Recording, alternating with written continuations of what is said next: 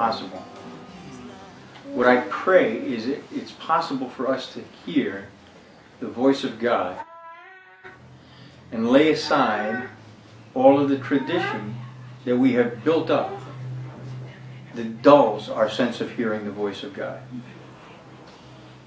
Jesus said to the Pharisees, How nicely you set aside the commandments of God to hold fast to your tradition. We just finished singing, I'm coming back to the heart of worship. Is that a beautiful song? We need to return to that place, that heart of worship.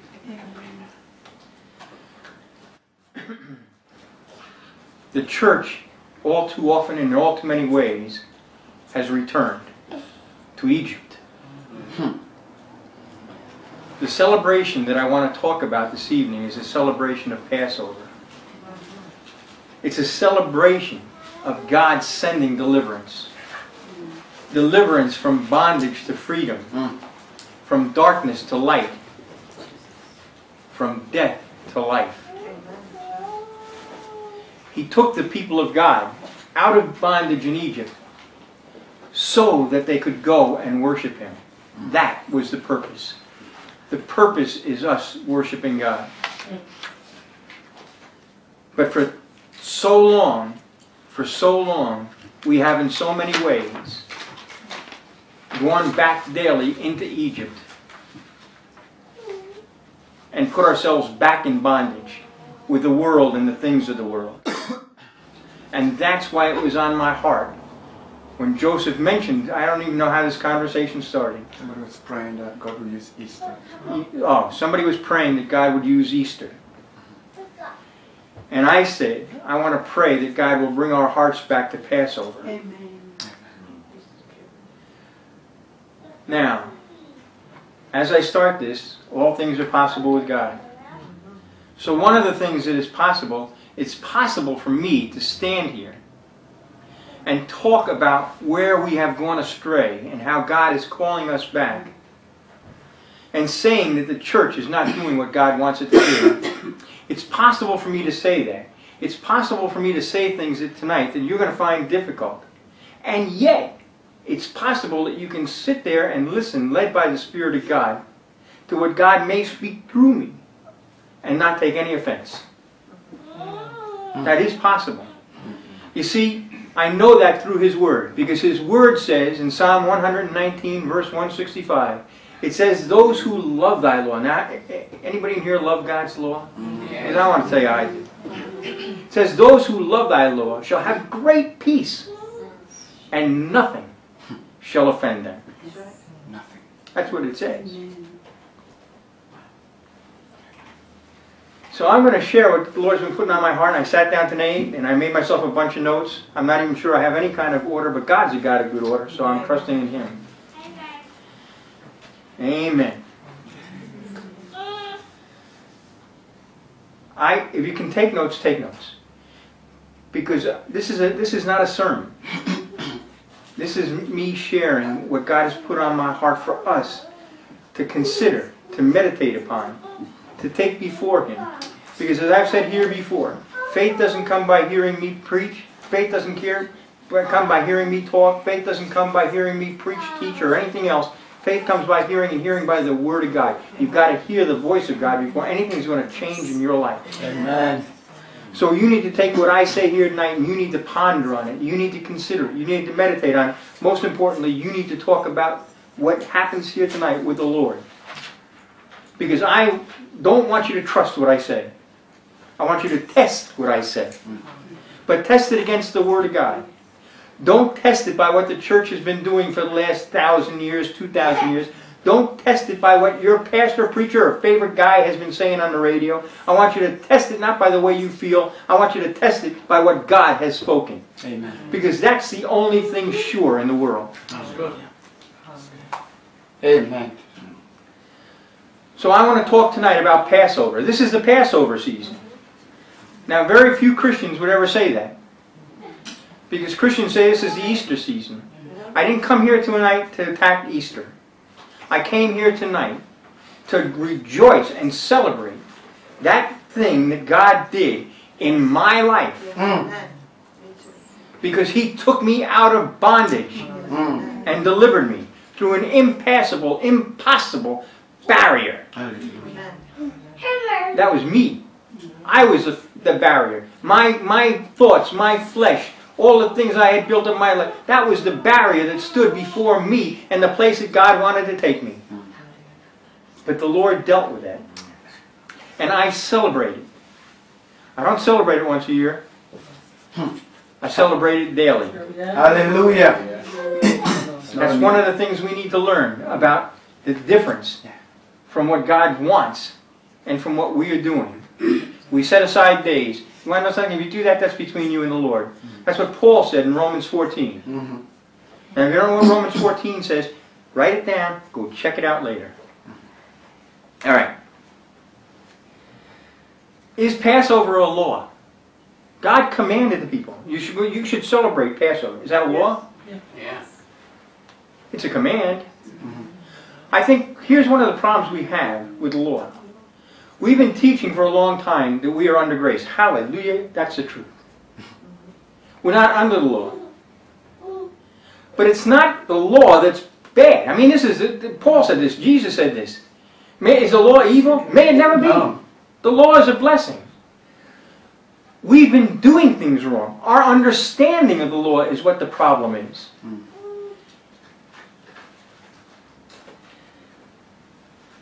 I want to read this from Romans 3. This is verses 29 to 31. It says, Or is God the God of the Jews only? Is he not the God of the Gentiles also? Yes, of Gentiles also, since indeed God who will justify the circumcised by faith and the uncircumcised through faith is one. Do we nullify the law through faith? May it never be. On the contrary, we establish the law. That's after the crucifixion. That's after the resurrection. That's after the day of Pentecost. That is New Testament theology. We establish the law when we celebrate the Word of God. Amen. This is not about a burden. It, we, we, we, we have come to understand the law is a burden. And I say, you know, I'm going to tell you, I was a Catholic. I was raised a Catholic. I got saved. And at the moment I got saved, I didn't know what I was anymore. People would come and ask me, because, you know what? You ever hear that song, What a Difference He's Made in My Life? The day that I accepted Jesus Christ, He made a difference in my life. And the difference He made in my life was visible to everybody that knew me.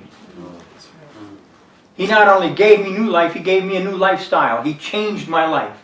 Everything about me changed. So people would come up to me and say, What happened to you?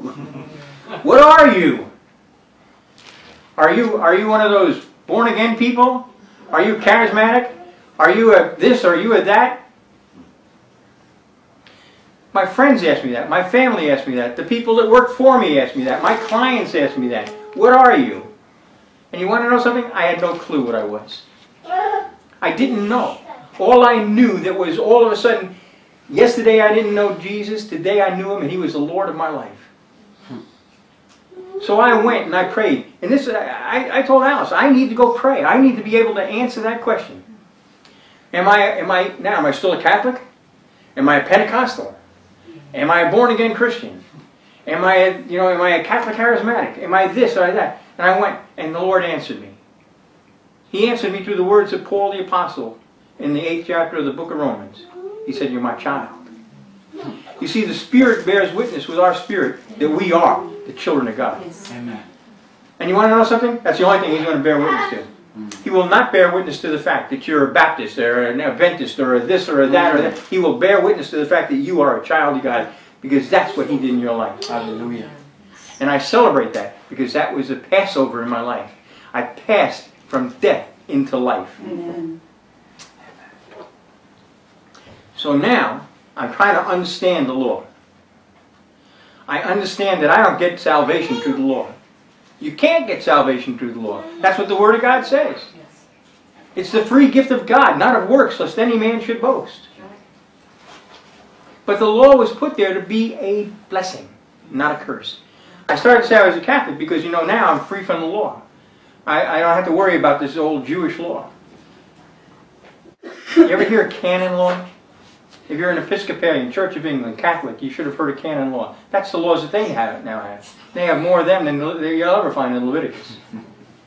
Because religion always tries to put you in bondage.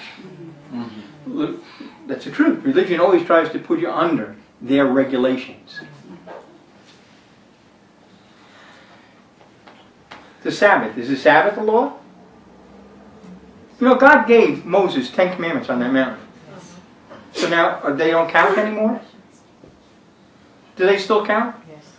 Are, are we free to worship other gods? No. Are we free to have other gods before Him? Are we free to, to take His name in vain? Are we, are we free to not honor your mother and father? Are you free not to keep the Sabbath? No. So what's the deal here? He set us free from the bondage of the law by giving us a right understanding of the law. Mm. Jesus said to the, to the Pharisees, because the Pharisees condemned him because he didn't live up to their understanding of the law of the Sabbath, the commandment of the Sabbath. So Jesus said to them, The Sabbath was made for man, and not man for the Sabbath. Mhm. So the Son of Man is Lord even of the Sabbath. God didn't put a day of rest to burden you, He gave you a day of rest to refresh you. Mm. That's the truth. But all of a sudden, you know, the, that, that day of, we don't even know what the Sabbath day is anymore. We don't. What's the Sabbath day? Come on, this is this is a participation deal. Somebody tell me what the Sabbath day is. Sunday. You say Sunday. Friday to Saturday. Friday to Saturday. Well, come on, Frank, you're doing good. It's your only day of rest after the six days. Those are all, you know what? I, can't, I couldn't argue with any of those. However, however, I want to just read you something. I'm going to read this. This is from Isaiah 58. And I want you to hear this. It's Isaiah 58, starting at verse 13. Now, and by, by the way, this is Old Testament. This is the prophet Isaiah, right? Mm-hmm. And here's what God speaks through Isaiah. If, because of the Sabbath, you turn your foot from doing your own pleasure, are you with me so far? Mm-hmm. Did Jesus say in the New Testament, if any man would follow me, he must deny himself? It's not about our pleasure, it's about pleasing God. Is that true? Oh, okay. Mhm. So every, so on how many days a week, which day of the week are you supposed to not seek your own pleasure, but seek to please God? Which day is that? Okay, every day. I like that. and you call the Sabbath the, the, the light, the holy day of the Lord honorable, and honor it, desisting from your own ways.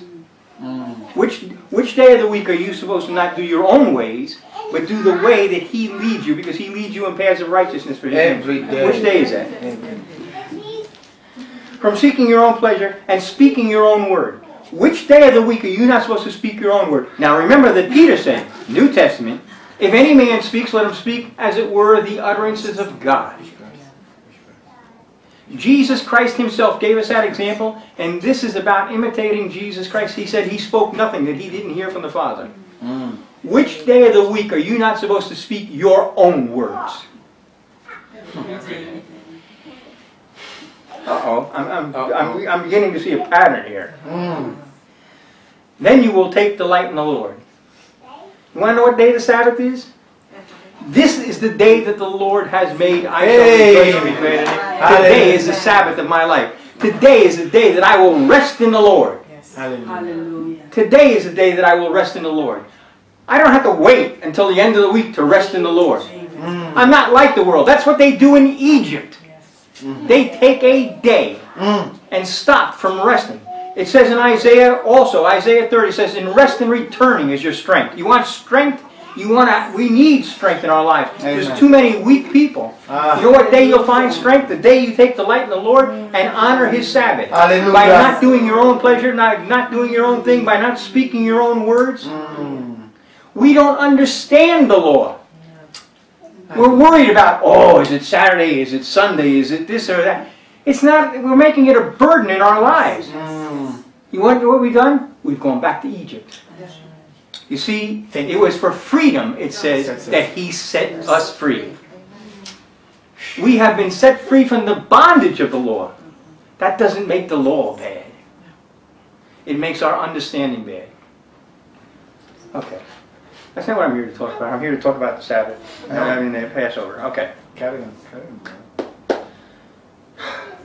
Let's just talk about Passover just for a second. Right? You, you know the story. The Hebrews, the people of God. The, are we in agreement that the people of God, that was the Hebrews? The Hebrews are the people of God? Okay. The people of God were in bondage in Egypt. That's the world. God said, Exodus 3, verse 12, He said, Certainly I will be with you, talking to Moses, right? And this shall be the sign to you that it is I who have sent you. When you have brought the people out of Egypt, you shall worship, worship God at this mountain.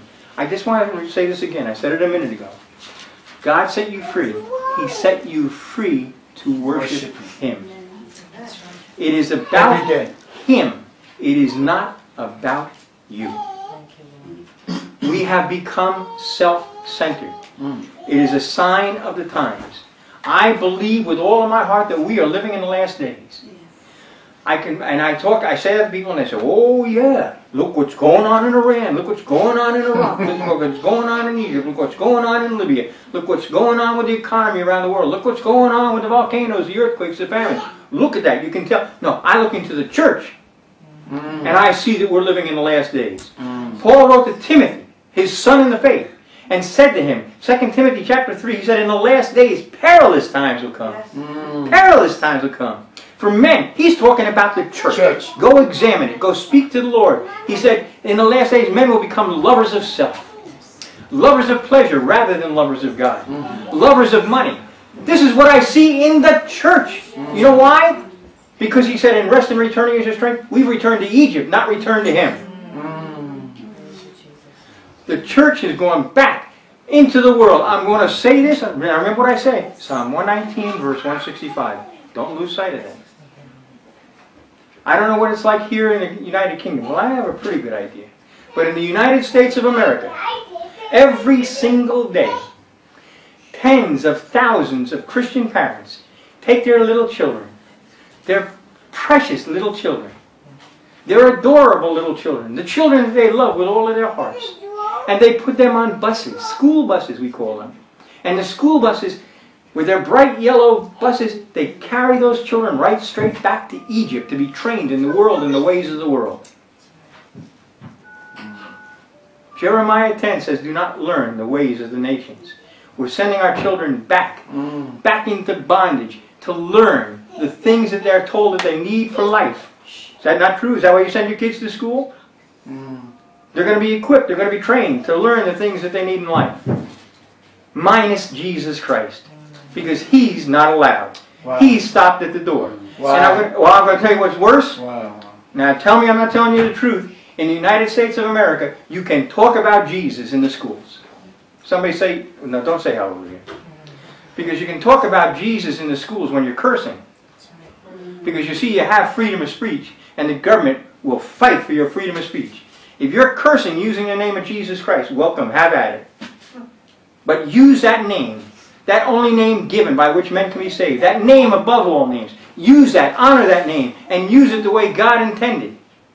And they'll tell you, stop, you're not allowed to do that. And we're sending our children in there? Even if they got the best education in the world that was possible, even if they were the best mathematicians, the best scientists, the best writers, speakers, best everything from that school, you know what they would have learned? They would have learned that Jesus Christ is irrelevant. Because they've been told, we're giving you everything that you need for life, but it doesn't include Jesus. But this thing, this Word of God, this eternal Word of God, eternal Word of God, says to me that He has given us everything pertaining to life and godliness. Hallelujah. We're sending our kids back to Egypt. And you wonder why. We celebrate Passover here, tonight. We're starting. It's not about Easter eggs, bunnies, Oh. rabbits. It's not about that. I'm going to talk about that in a minute. Oh, somebody. Remember, Psalm 119, verse 165. You're not going to get offended. Okie dokie. Moses is a type or a foreshadowing of Jesus Christ. Does, does everybody understand that? Amen, yes. Because he was a deliverer, chosen by God Mhm. to go in and set the people free.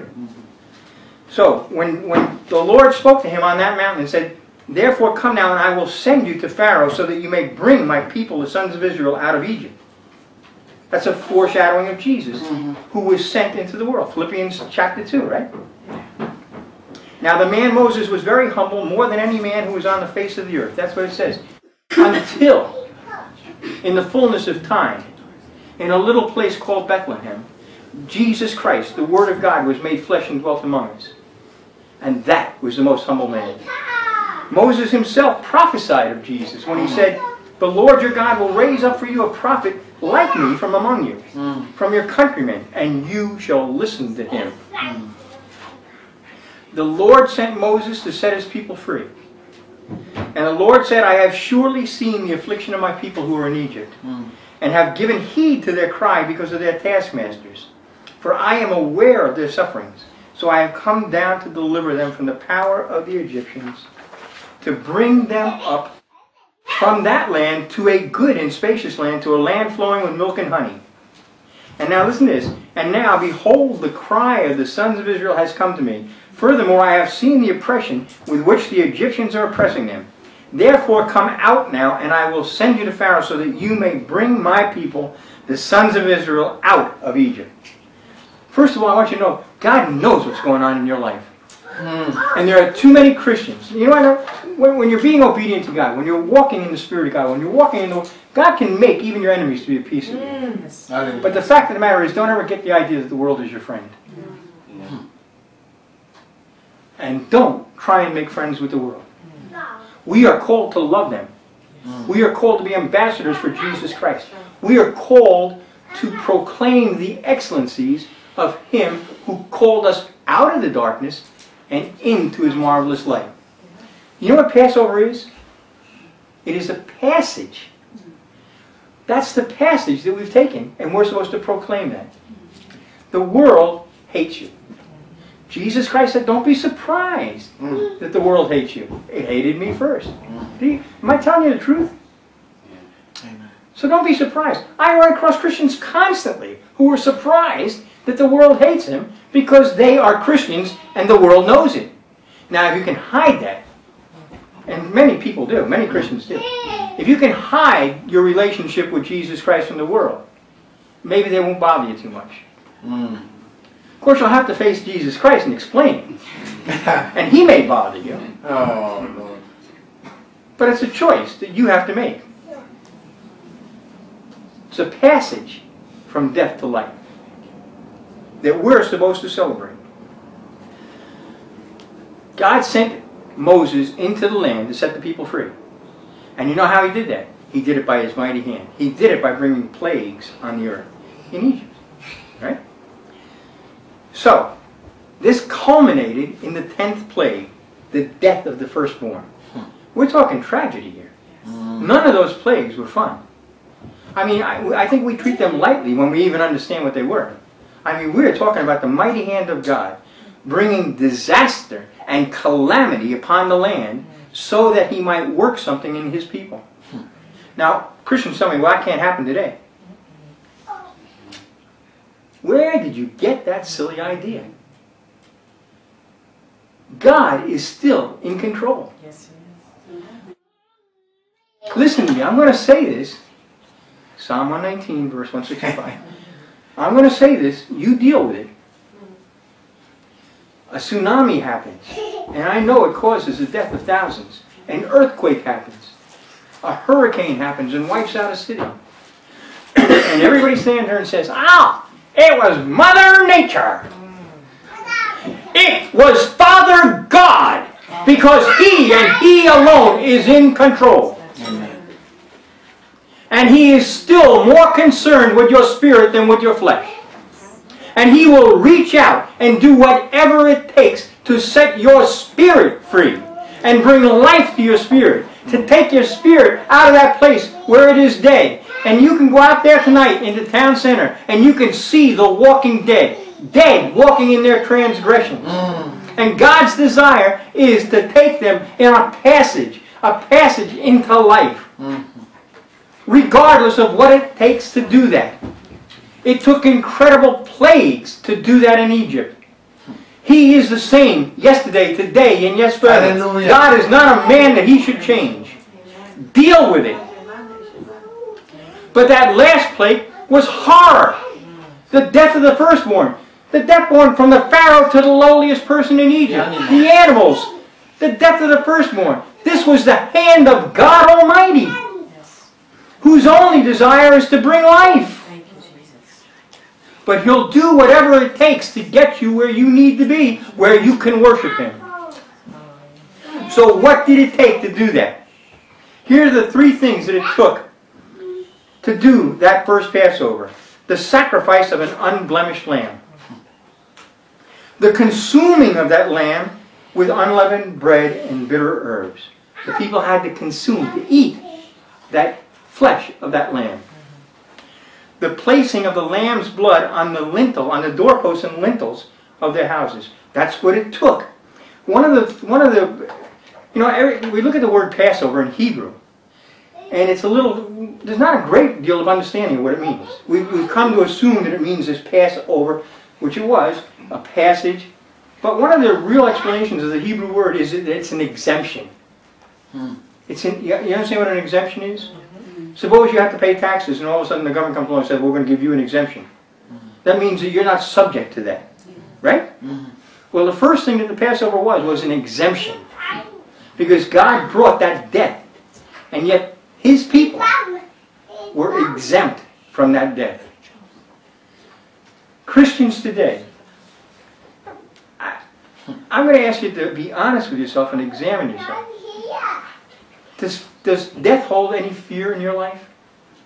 Because I meet Christians all the time. In fact, in practice, in reality, they're afraid of death. That's because they don't understand. Mm. You see, do you know that it says that it's appointed unto man to die once and then the judgment? Do you know that it says that? Yes. To all my Hindu friends out there, no, you're not coming back as a frog, you're not coming back as a better person. it's appointed unto man to die once and then the judgment. Right? Does the Word of God say, does Paul say, in order to imitate him as we imitate Christ, does it not say that I have died and my life is hidden in Christ Jesus? Hallelujah. Yes. Okay, so I've died. Have you died? Have you died to yourself and come to life in Jesus? Yes. Have you? Yes or no? Yes. It's appointed the man that will die once. Jesus Christ said, He who believes in me shall never die. You know why? Because you already did it. You got it over with. You took care of it. Amen. I died. Wasn't so bad. Wasn't so bad. So I don't have death. Where's thy victory? Death, where's thy sting? It's been conquered. Nice. We have passed out of death. The Passover. This is what we remember when we remember the Passover. It's not about Easter bunnies, chicks, little rolling eggs. Ah. It is about life in Jesus Christ. Hallelujah. Because we have been had death passed over us. It's a Passover. It is not a single event. The Passover is not the resurrection of Jesus Christ. The Passover is not the crucifixion of Jesus Christ. The Passover is the crucifixion and death of Jesus Christ. It is a passage. But I'm getting ahead of myself. To die is gain. Okay. Passover is a remembrance, a memorial, and a celebration of the event started that night. Now listen to these words. This is the Word of God. Now this day, talking about Passover, right? Will be a memorial to you, mm-hmm. and you shall celebrate it as a feast to the Lord. Throughout your generations, you are to celebrate it as an eternal ordinance. Eternal. Eternal. Forever. Exodus 12:14. Listen to this. You shall also observe the feast of unleavened bread. This is part of the Passover, right? For on this very day I brought your hosts out of the land of Egypt. Therefore you shall observe this day throughout your generations as a permanent ordinance. It is a night to be observed for the Lord for having brought them out of the land of Egypt. This night is for the Lord to be observed by all the sons of Israel throughout their generations. That is an eternal command.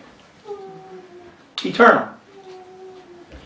So now, Christians have stopped celebrating Passover. Is that not true? We have changed it. We celebrate Easter. Psalm 119, verse 165. Why? Egypt. Well, why?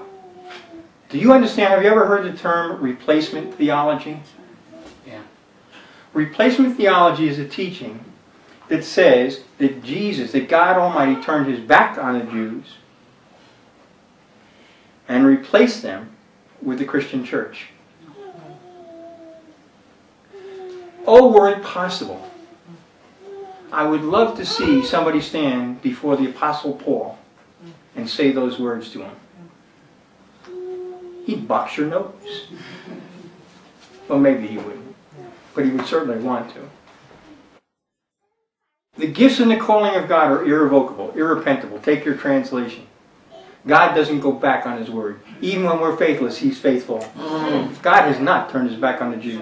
Go read Romans 9, Romans 10, Romans 11. Go back and see. You see, God hasn't replaced the Jews. Not all Jews are Jews. That's what the Word of God says. You know? Not all Christians are Christians. Hmm. Yes. God has not forgotten His people. He has not replaced us. Now, one of the reasons that this replacement theology got so strong was because in the year 70 AD, Jerusalem was wiped out by the Romans. Early in the second century, there was a false Messiah in Israel, Simon Bar Kokhba, I think his name was. And because of his rebellion against Rome, Rome came in and literally destroyed and kicked all of the Jews out of Israel. So now there's no more Jerusalem, now there's no more Israel. And the church, as it got established, was strong in Alexandria, Antioch, and in Rome. But Rome seemed to want to take power. If you know the history of Christianity, you know that particularly from the year around 325 when Constantine was emperor. Now, I hope this is not too dry or boring for you, but it's important, all right? When he was emperor, Christianity became basically the official uh, religion of the empire. Yes. You know why? And people, mo- most theologians and most mainline denominations look at that and say, "Whoa, hooray! This is when Christianity became successful." I have to get that taste out of my mouth. It became successful. Constantine wasn't even saved, but he wanted peace in his empire. Hmm. And there were so many, you know, there were so many religions. So what he did is he made one religion. But he wasn't about to say to the pagans, well, you can't worship your pagan gods anymore because they would have rebelled. So what he did is he inspired the church to bring all of those pagan traditions, all of those pagan gods, all of those pagan things into Christianity and make them part of Christianity. And all of a sudden, Christianity was dressed in, in foreign garments. Mm-hmm. We still are. It hasn't gone away. Now you say, okay, what do you mean he brought foreign gods in? If, you, if you're not a Catholic or had been a Catholic, you may not understand this. Half of the saints that the Catholic Church has worshipped, and yes, they worship them, for the past 1700 years were, were pagan gods who were just brought in and kind of baptized by the Catholic Church. That's a fact. Don't take my word for it. You know, it says study to show yourself approved. You've got to get into the Word, but you can. It doesn't hurt you to get in and learn a little history. And if you don't think that's true, go back and look at the Second Vatican Council of the Roman Church in the year 1965, when they kicked half of the saints out of the church because they were confronted with the truth and they couldn't resist the truth anymore. My mommy would not let me drive a car, even though I was a grown person at 18, 19, and 20, unless I had a St. Christopher medal hanging from the dashboard. Wasn't she surprised when they kicked him out and said he never existed? We have brought so much compromise into the church of Jesus Christ. Mm. We need to return to that place where we are free to worship, unburdened by the traditions that weigh us down Mm. and keep us from Him. I just want to read you two. How many of you here know that the promise to Abraham, I'll bless those who bless you, still counts? How many of you know that when Jesus returns, and trust me on this, test it in the Word of God, He is going to return. I don't believe it's far off. He's going to, he's going to return. He's coming back. He's coming back for a bride without spot or wrinkle. He's coming back for a body without compromise. He's coming back. Where is he coming back? Who wants to say London? Who wants to say New York City or Washington, D.C.? Is he coming back to Moscow? Where is he coming back? Jerusalem. Oh. I will never forget you, my people. Can a mother forget her nursing? God will not forget the people that he called. You want to know something? So the question is now, where do we stand with Jews? In those years of Constantine, I want to read, first of all, there was a guy named Bishop Melito. I know. Oh, this ought to be a college course where you can sleep in the back of the room. All right. When the church came, this is his words, written in the year around 180. When the church came on the scene and the gospel was set forth, the type, the Old Testament, lost its value by surrendering its significance to the truth. So this man said that when the church came on the scene, the Old Testament has no value. It gave way to the truth, the New Testament. He said on, the Jerusalem here below once had value, but now it is without value because of the Jerusalem from above. That, my friends, is a lie from the pits of hell. The New Testament, how many writers, including, or speakers, including Jesus, said, like Paul, in one way or another, whatever was written in earlier times was written for our instruction. Mm. That, that all Scripture. Mm. What Scripture did they have when Paul wrote that? He said all Scripture. They had from Genesis to Malachi, I want to tell you. He said all Scripture is God-breathed. It is the very breath of God that brings life. But here is the, now, in the church, in the Christian church, you begin to see they're saying it has no value. It's not even true. If you believe that, that's between you and God. But be honest enough with yourself that you go home tonight and rip Genesis out of your Bible. Rip Leviticus, Deuteronomy, Exodus, rip it out of your Bible. All those Psalms you love so well. All those verses that we quote over and over when they say, you know, no weapon formed against me shall, rip it out! It's either true or it's not true, and I'm here tonight to tell you that it is true. Amen. I'm not a fan of religion. People say to me all the time, what religion are you? Oh, I just don't like that question. Because they don't understand that religion mm. is pure and undefiled religion. Is the widows and orphans taken care of and keeping oneself unstained from the world. Mm. That's religion in the eyes of God our Father. But to use that word religion that is, as it is commonly used, I'm going to stand here tonight before you and say there's only one right religion. It is Judaism. Yes. Not practiced the way most Jews do. Practiced the way Jesus did. Practiced the way Paul did. After the death, the burial, the resurrection of Jesus Christ, the ascension of Jesus Christ, after the day of Pentecost, when the Spirit of God fell in mighty power on his people. Amen. After that day, he was still a Jew and not ashamed of it. Amen. But he practiced it different than all the other people were doing. They have the right religion, they're doing it wrong. We have been blessed many years ago when I was a pastor in New York and I had a ministry in New York. You may not know this, but at the time, Brooklyn is one of the parts of New York City. It was the largest single Jewish community in the world. Larger than, I mean, more Jews than in Jerusalem or Tel Aviv. Brooklyn, New York was the largest Jewish community on the face of the earth. We had a very large ministry to Jewish people, and I have seen many, many Jewish people come to understand the truth of the fact that Jesus Christ is the promised Messiah of Israel. You know why? Because I never tried to convert them. I tried to get them to seek their God, the God of Abraham, Isaac, and Jacob. And when they sought the God of Abraham, Isaac, and Jacob, guess who they ran into? The Son of the Most High God. Amen. But I didn't try and convert them and say you are you are bummy people. You're wrong. I just tried to say to them, seek the God that spoke to you through your scriptures. And when they did, God took care of them. We need to understand this.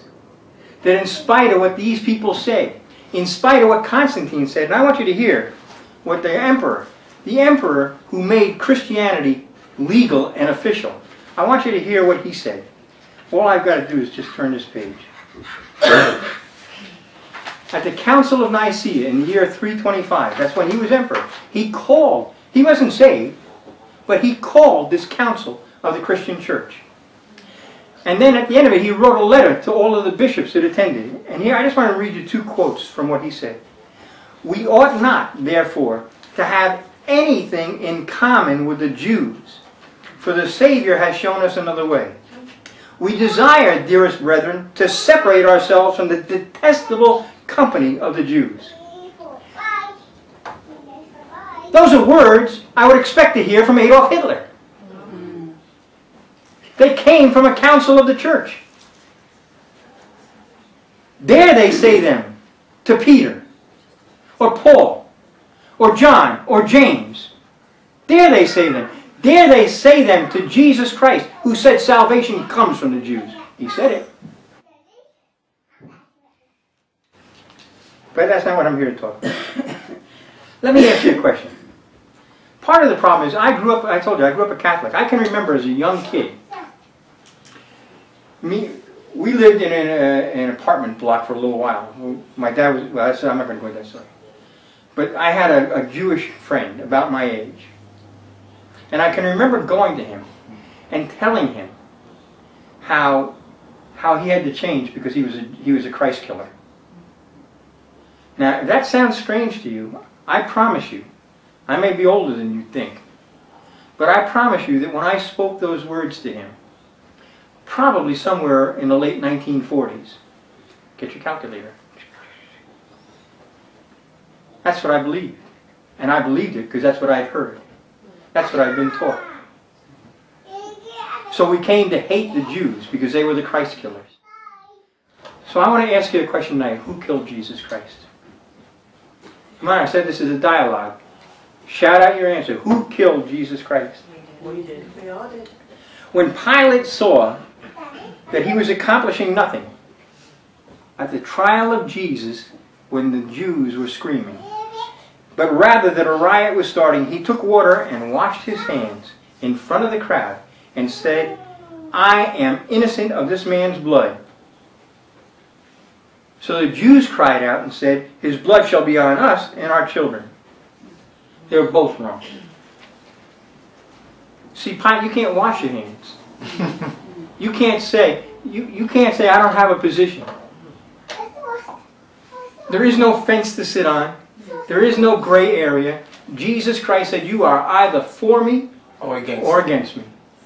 There is no middle ground.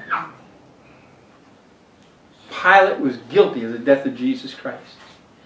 The Jews who called out, Crucify him, crucify. Those same people of God who a few days earlier had been crying out, Hosanna, Hosanna, blessed is he who comes in the name of the Lord, are now crying out to the same God, saying, Crucify him. Yes, they were guilty. I am responsible for the death of Jesus Christ. Because were I the only sinner that ever lived, he still would have gone to that cross for me. It was my sin that nailed him to that cross.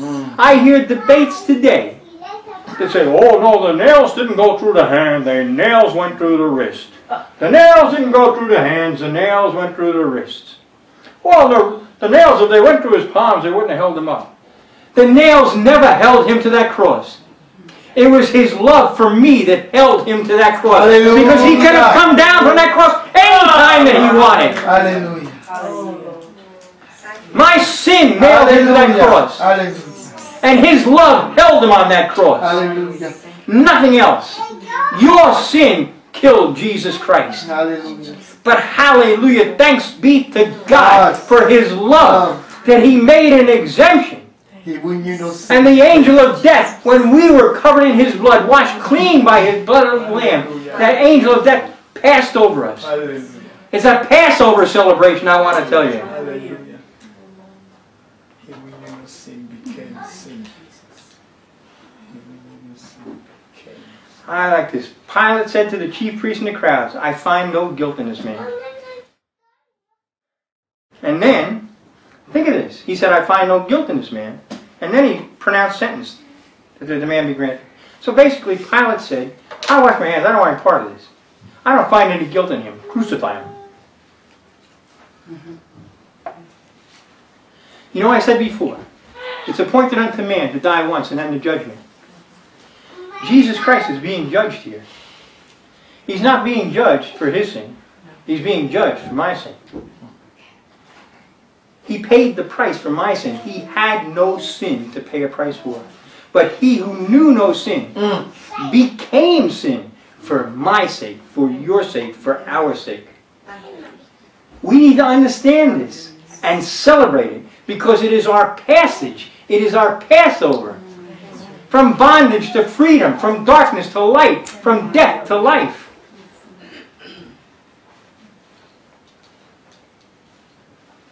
The religious leaders of the people of God wanted Jesus dead and gone. So they motivated the multitudes who had been crying Hosanna, and they motivated those people to cry out, Crucify him. I'm going to say this in love. Psalm 119, verse 165. Beware of these religious leaders who are serving themselves, building their own little kingdoms instead of building the kingdom of God. Trust me, 2,000 years later, they're still out there. Yes. So what did they do? The Jews wanted Jesus dead, so they did what happens, you see it in the movies all the time. They put out a contract on him. They hired the Italians to do a hit. Is that not true? So you see, the people of God and the world combined to kill Jesus Christ. It took both. Because we're all responsible for the death of Jesus without exception. It was the world and the people of God came together to do it. When all is said and done, like I said, I killed Jesus Christ. I said you got to have a lamb. You got to have an unblemished lamb. Jesus Christ, his public ministry, don't you know, it's, it, it, it really begins as he arises from the waters of baptism at John the Baptist in the Jordan River. Mm. But when John the Baptist saw him, what did he say? Behold, the Lamb of God, who takes away the sins of the world. Have any of you ever heard that old hymn? I love this hymn. On a hill far away. Shall I sing it? On a hill far away stood an old rugged cross, the emblem of suffering and shame. And I love that old cross, where the dearest and best for a world of lost sinners was slain. He died for us, for a world of sinners. So has the Lord turned against the Jews? No. That's what grace is all about. And it says that the first piece of dough is holy, the lump is also. The root is holy. You see, we've been grafted into that vine. That's, That's what right. it says.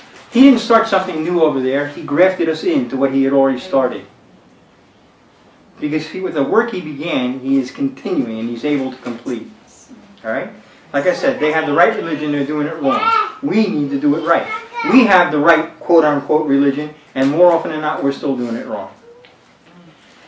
Now, I said I, I don't really want to get on, this is about Passover, not Easter. But I can't talk about Passover and not talk about Easter. Because you see, the church has put Passover aside in order to celebrate Easter. Is that true or not true? I mean, I'm, listen, I want to deal with the truth here. Romans 14, if you, if, you, if you don't know Romans 14, go, go read it a little bit. It's not about a day, hmm. it's about a heart. And, and it says in Galatians, because you are sons, God has sent forth the Spirit of His Son into our heart, crying, Abba, Father. That's, that's where you are. You're supposed to be able to cry out, Abba, Father. Hallelujah. Therefore, you're no longer a slave, but a son. And if a son, an heir through God. However, at that time when you did not know God, you were slaves to those by which nature are no gods. But now that you have come to know God, or rather to be known by God, how is it that you turn back again to the weak and worthless elemental things to which you desire to be enslaved all over again. You observe days and months hmm. and seasons and years. Hmm. I fear for you that perhaps I've labored over you in vain. vain. That is New Testament. It is after the death, the burial, the resurrection, the ascension of Jesus Christ. It is after the day of Pentecost when mighty fire of the Spirit of God fell on the church. It is after that, and Paul is still saying it to them. You're returning to those things that are not of God. You're compromising. How is that? Have I labored in you over in vain? Mm. That's not judgmental. People say to me all the time, you're have no love, you're judgmental. You want to know something? I am judgmental because of the love that God has put into my heart. Because it says, Paul wrote, and you say, when I wrote to you not to associate with immoral people, he said, I didn't mean the people out there, out in the world. The church sits around and we point fingers at the world constantly. we consume all of our time talking about those bad people out there. God said, I'll take care of them. Mm. You take care of what's going on in the church. Mm. We need to start cleaning out the church. You need to understand, we got false prophets running around all over the church. You ever read the book of Revelation? You ever read those letters to the churches in Revel- in in Revelation? You ever read that God said, I have this against you? That you tolerate the woman Jezebel who calls herself a prophetess. When are we going to wake up? That's not what I came to talk. It's not just a day. Whether you're talking about Passover today or Easter, it's not just a day. It is a heart attitude every morning, your eyes open, and you choose to say, This is the day that the Lord has made. I will rejoice and be glad then you will celebrate the Sabbath. You will celebrate the Passover. You will celebrate the great things of God each and every day. Most, this is a problem. I said this before. Listen to me. I say this in love.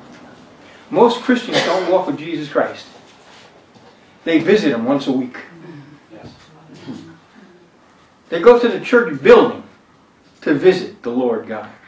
He wants us to walk hand in Isn't that what it said in the prophet Micah? He wants to walk hand in hand with us. I said, you know, most of us, listen to what I'm saying because I say this in love. Most Christians have an ineffective prayer life. It's not because of God, He's faithful. We're not learning how to pray. It says we have this is a confidence we have. We know that we pray anything in His will, according to His will. He hears us. When He hears us, bada bing, bada boom. It doesn't say bada bing, bada boom. He hears it. He does it. We're praying too many things outside of His will. Mm. Mm. And we're praying, and, and in James it talks about, you know, he uses an example of effective prayer, powerful prayer. He talks about the Elijah, right? Says the effective prayer of a righteous man. If you have a question, he talks, look at Elijah. But Elijah, you know what Elijah said? Go look at it. 1 Kings chapter 18. He said, I stand in the presence of God. I stand in the presence of God. He didn't visit him once in a while. He stood in the presence of God. Mm. I, when, when John the Baptist's father, Zechariah, was in the temple, Mm. giving service as the priest. And the angel Gabriel showed up. And the angel Gabriel said, You know, this is what's going to happen with your son. And uh, Zechariah said, Well, how am I going to believe that? And Gabriel said to him, I am Gabriel, who stands in the presence of God. Come on. You want to have an effective prayer life? Don't just visit God, stand in His presence. Hallelujah. Pray according to His will. And if you stand in His presence, I promise you'll know what His will is. Mm. That's not what I'm here to talk about. Okay. Ah, Easter. Easter. Easter. I'm going to read you some. Uh, it's not about a day. Listen to what I'm here to say. I'm not going to talk about this a lot. But before I do, I just want to. I want to quote a verse to you. Psalm 119, verse 165. Those who love Thy law shall have great peace, and nothing shall offend them. Easter is not about a day; it's about a goddess. I want to read you a couple of verses from the prophet Jeremiah, which, by the way, is the Old Testament, and it is the everlasting Word of God. Hallelujah. Hmm. God spoke through Jeremiah and said, Do you not see what they are doing in the cities of Judah, in the streets of Jerusalem? That's the people of God. This is Jeremiah 7, verses 17 and 18. The children gather wood, the fathers kindle a fire, and the women knead the dough to make cakes for the Queen of Heaven. And they pour out drink offerings to other gods in order to spite me. We are supposed to be serving and pleasing God. And here he says, My people are doing these things to spite me. As for the message, this is chapter 44 in Jeremiah. As for the message that you have spoken to us in the name of the Lord, this is the people now speaking to Jeremiah. To that message, we're not going to listen to you, but rather, we will certainly carry out every word that has proceeded from our mouths by burning sacrifices to the Queen of Heaven and pouring out drink offerings to her, just as we ourselves, our forefathers, our kings, our princes did in the cities of Judah. It's their tradition. And in the streets of Jerusalem. For then we had plenty of food, and we were well off and saw no misfortune. Because you know, that's what they thought it's all about. How much ease you have in the world. So they are doing this, and God spoke to them through the prophet and said, You stop burning. You are doing this to spite me, that you burn this incense to the Queen of Heaven. Do you all hear this? Ever hear these verses before? You know who the Queen of Heaven is? Go study. Go learn. Don't take my word for this. Go into a library. Go on the internet. Find out the truth. Her name was Ishtar. It was pronounced Easter. Astarte. She was the goddess of fertility and sex. The, the wife of the god, the false god, the idol Baal. Her name was Easter. That's the truth. I don't have, I will not stand here and apologize for the truth. The Christian church, I hear somebody praying, Oh God, I hope you use the name of Easter to draw people to you. What? May God smite me the day that I see him having to bow down and use the name of idols, of false gods to draw people to him. He said, when Jesus is lifted up, he will draw a man. Hallelujah. We need to repent of Easter.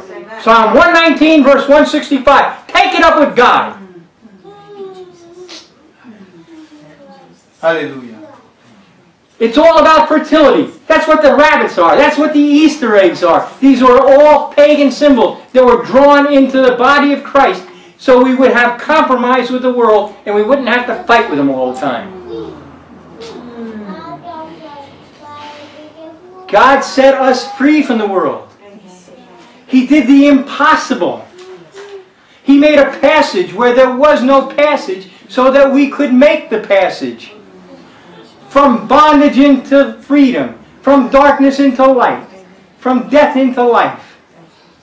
He made that possible. He parted it to get us out of the world. Us. Don't go back.